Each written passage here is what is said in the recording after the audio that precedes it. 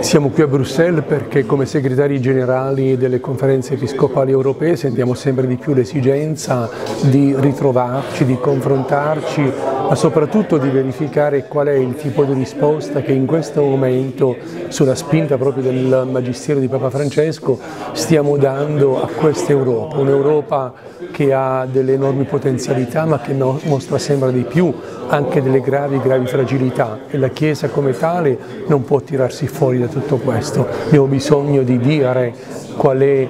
diciamo, il surplus, il di più che può venirci dal Vangelo, di più che può venirci dalla testimonianza che come credenti siamo chiamati a dare rispetto a temi specifici, temi di ordine morale, temi quali l'accoglienza, temi quali anche il modello di economia e di politica che si sta portando avanti qui in Europa. Se veramente tutto questo risponde a quando il Signore attraverso il Vangelo chiede a tutti quanti noi e poi lavorare, lavorare molto di più perché il credere al Vangelo diventi anche mentalità di Vangelo.